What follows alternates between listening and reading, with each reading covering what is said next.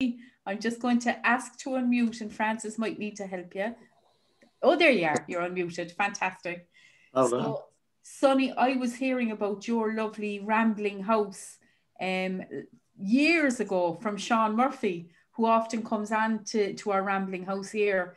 And he was telling us what a what a special place it was and how the love of the session, which is story led, but not just about story, it's about the music, about the poetry, about the characters that ramble in. And he said, You made room for everybody. And then I planned to come. And in the year that I planned to come, Sonny closed the doors on the rambling house. So we'll have to open them up again sometime, Sonny, you know. Um, but it's lovely to meet you. How are you doing? I'm ah, not too bad at all. No, doing the best we can. Trying to trying to get over this COVID. We're, we're, we're staying alive anyway. That's it, you know. I, I know the lads in um, St. John's Storytelling Centre across the water are loving you and, you know, kind of in that you've appeared there a few times. So it's great to see the people rambling into us, but it's mm. also lovely to know that you're rambling out to Tongland and, and joining us in spirit, you know, so that's great.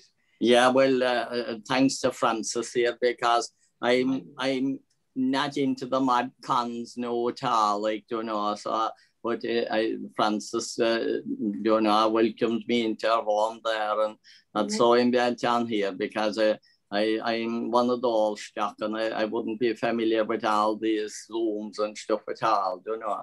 More, uh, I'd be more into uh, in, in a group of people talking and that. Yeah. But anyway, sure, I suppose that's the way things are. We're lucky to have it the way things are going. Absolutely. So, you know, I'll, so... I, I'll, I'll tell you a short story and then I'll sing a song, a short story and a short song. I have the card with me here. Do you know, uh, that was, you were talking there know, about, um, uh, you know, I'm eating marriage and all that, but long ago, people didn't have to, you know, go, go into dances and that, they'd be quiet. And, but this lad anyway, he had a farm and he was a good old worker, but that was not saying a marrying or having a girlfriend and kind of in the lookout. But that was this lady and she was a hairdresser. And one day he went in to get the hair cut, he didn't know it but she got talking to him and he found out that she was only a mile and a half away from him. And you know, he going when he didn't need a haircut, just to keep in touch, like. And this day he went in and he was told that she had moved on to Cork. She was after getting a job in one of the big saloons above in Cork. And he was a bit disappointed, to say the least. And you know, she seemed to be doing well there because she wasn't come coming back at all and he was being querying about her, you know. And, uh, and after about three years, didn't he hear that she was coming home to visit uh, the, the, the, the cousins? And uh, she, he said, I'll have to meet her. You know, and he made it his business anyway to be around and uh, didn't he meet her? And, and he said to her how, how are we getting on well if we see the way she was dressed you see the hat kind of style the kind of short close to the knee with a bit of a slit in the skirt and I'll tell you now you couldn't believe what the fancy hat and the makeup she being a hairdresser like I believe that you're supposed to look like that for no you know so anyway, he said to her, is there any chance to say you could call back to me Sunday? Uh, we'll have an old talk to the bit since we met. And she said, why shouldn't she? Behind it all, like she was thinking of settling herself. But uh, he was glad to know, like, that she was still to the good. That meant that she had no full, you know, but I mean, she was still to the good.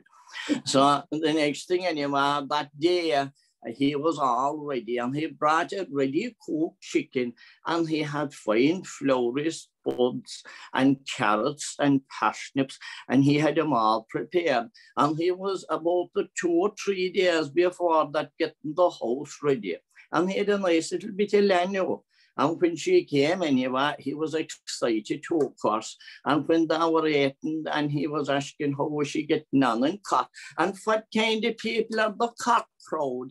Like, you know, would I say hello to you if I meet you and all that? And she said, oh, they're lovely people, lovely. And you would meet very nice people and they have a bit of a strange accent, all right, but you get used to it after a bit. He was delighted to hear that. And, uh, you know, he was still thinking, is it, will you come out to see here and close the milking parlor? And she did. And then he showed her a few more things that would be very important to know the wheat and the spuds and everything. He said, I'm self-sufficient, you know. I grow my own stuff, organic. And then he went down the field and, you know, he had a nice bam cows and the cows were there and they ate away and fine grass and they walked down. And he was wondering how was he doing? Was he making an impression with her? She wouldn't let none anything. And he was looking at the cows and uh, they were licking at each other and they're fine and relaxed. And he said, "I oh, look at the cows and say, and they're kissing one another. Wouldn't they love to do that No. And she answered him and she said, and sure fetch dapper no, aren't the cattle or on. and I went right up to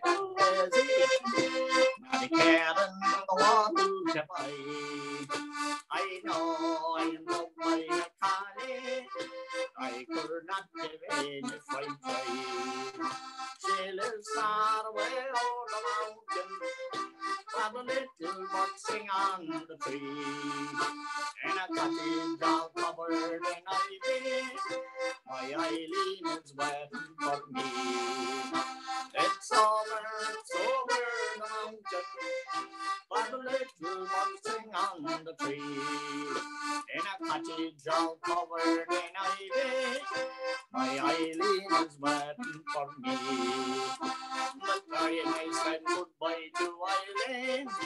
A time I will never forget. The tears rambled up the. I fancy I see them yet.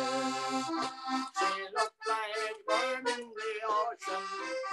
And she for her of love. She said, my dear boy, don't forget me. Till they meet, I never hear her above. Everybody, it's over, it's over the mountain.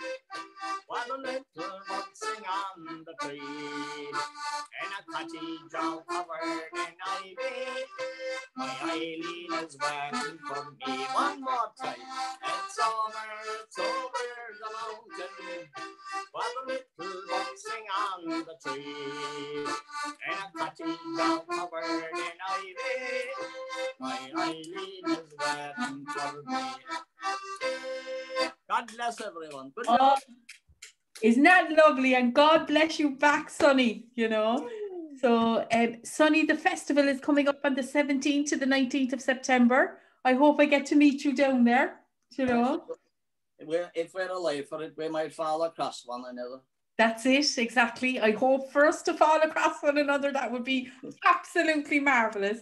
Lovely to see you tonight, Sonny. And I hope you'll make it next month when we'll have Dana Washington all the way from the United States. Isn't that going Oh. to be great? Yeah, and that's grand. God bless you. know, God good luck. bless you now. See you soon. Give it a Bye. rest. So